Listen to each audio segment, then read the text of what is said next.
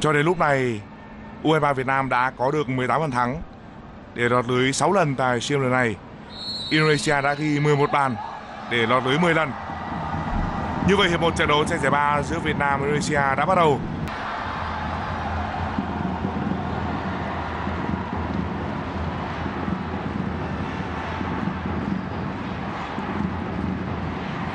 Rất tốt. Bóng vừa chạm tay cửa áo trắng. Trong tay đã chỉ tay vào trái phát đền. Cú sút của Võ Huy Toàn.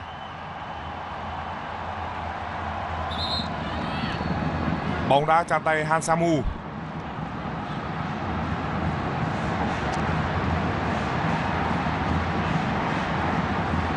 Tình huống để tay chạm bóng rất rõ của Han Samu.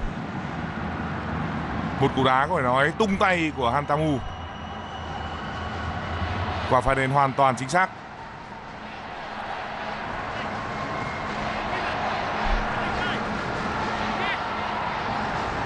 sẽ là một thử thách dành cho thủ môn Amiruddin. Mạc Hồng Quân là người đá quả phạt đền này.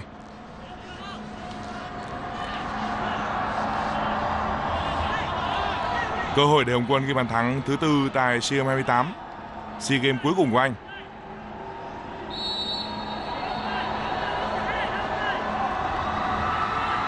Mạc Hồng Quân, rất tốt. Tỷ số được mở cho các đội Việt Nam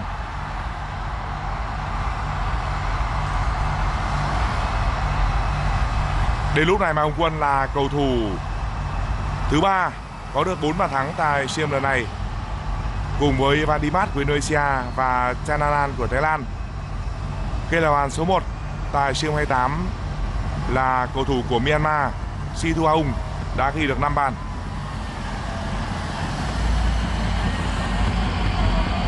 Pha đặt lòng bình tĩnh đánh lừa thủ môn Indonesia.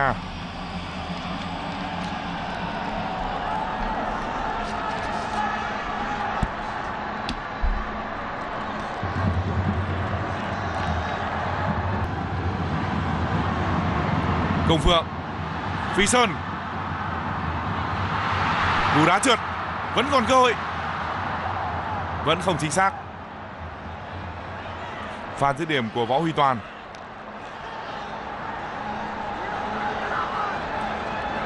Pha tấn công rất đẹp của cầu Việt Nam Chân phải không phải chân thuận của Võ Huy Toàn Công Phượng là cầu thủ chuyền bóng xuống cánh phải Sóng gió đã trôi qua.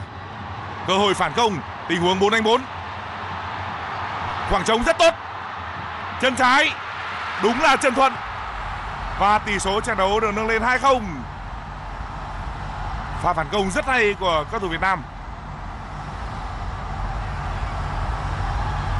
Võ Huy Toàn cũng đã có được 4 bàn thắng bằng với Mạc Hồng Quân.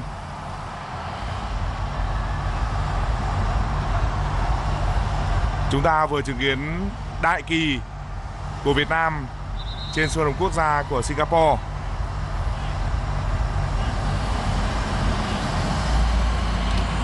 Đội bóng của Miura đang có được tâm lý rất tốt. Vừa rồi thật sự là một pha phản công mẫu mực. Đó là một miếng đánh đã từng giúp cho Việt Nam rất nhiều lần tạo ra cách biệt với Indonesia.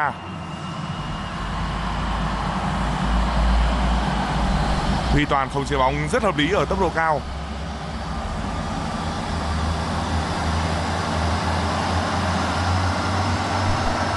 Cú đá mạnh rất chuẩn bằng mu trong của Võ Huy Toàn.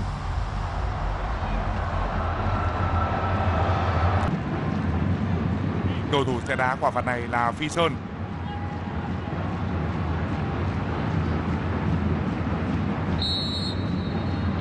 Phi Sơn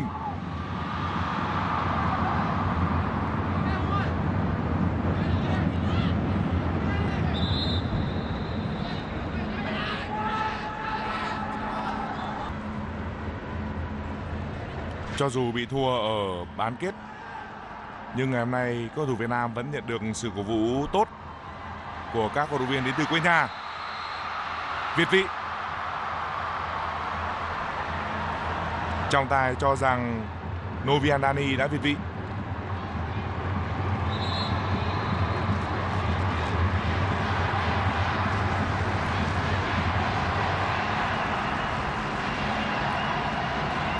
Đây là phút thứ 40 Tỷ số vẫn là 2-0 cho các đội Việt Nam. Có cơ hội, không vào.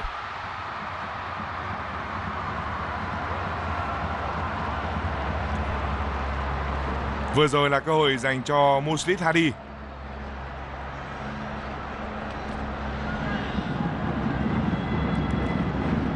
Một pha chọc khe tốt.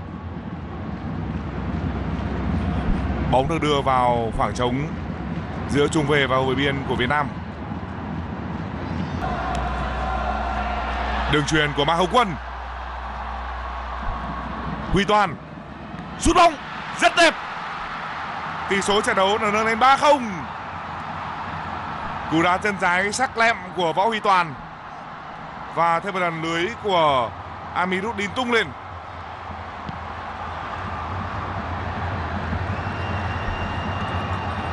Võ Huy Toàn là người có thể tạo ra sự đột biến rất cao. Như vậy đúng như chúng tôi dự đoán, Huy Toàn đã có được 5 bàn thắng đến lúc này, bằng với Sido Aung của Myanmar.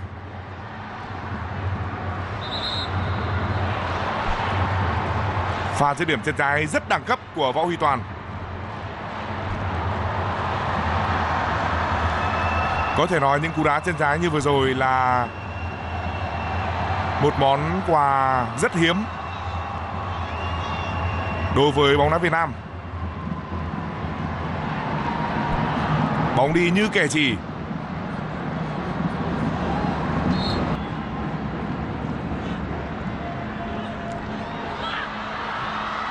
Đường truyền của Công Phượng băng vào. Tỷ số trận đấu đã là 4-0. Pha ghi bàn của Hữu Dũng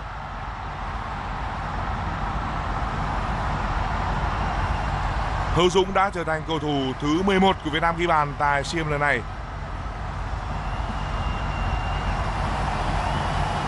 Cổ động viên trên sân đang rất vui.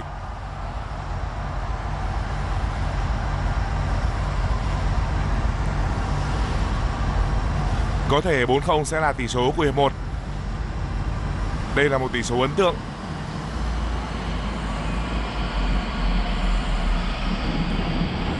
Đường truyền vào rất chính xác.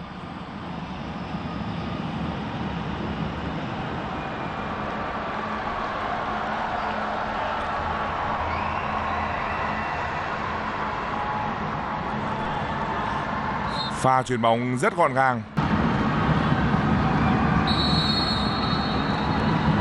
Công Phượng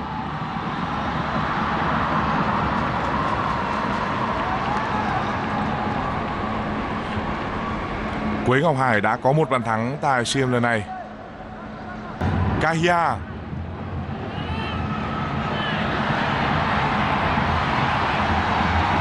Trọng tài cho rằng đó không phải là một pha phạm lỗi.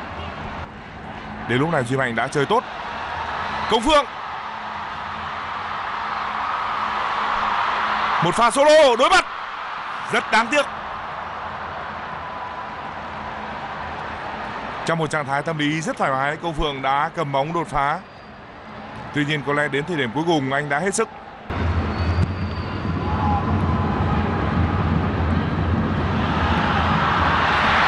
Tỷ số được nâng lên 5-0. Bàn thắng của Quế Ngọc Hải.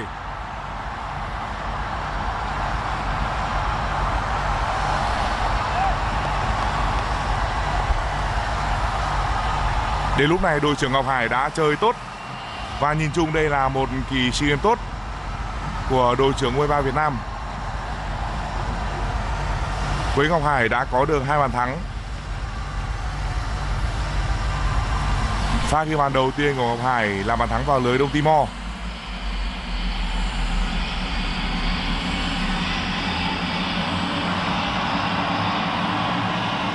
Duy Mạnh là người đã dứt điểm.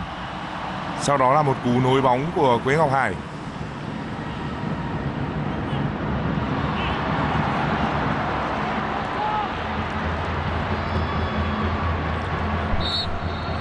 Quế Ngọc Hải là một trung vệ sẵn sàng dâng cao tấn công.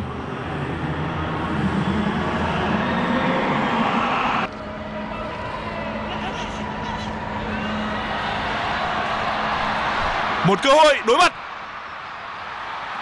Không vào. cầu thủ Việt Nam vừa rồi đã thi đấu có thể nói là không thật sự tập trung ở tuyến dưới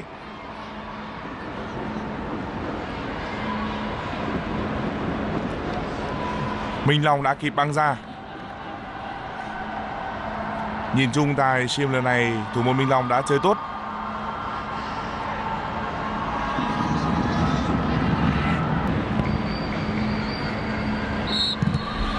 Và như vậy là trọng tài đã nổi tiếng còi mãn cuộc. 5-0 cho cầu Việt Nam là tỷ số cuối cùng. Trận thắng đậm nhất trong lịch sử những lần đối đầu giữa Việt Nam với Malaysia.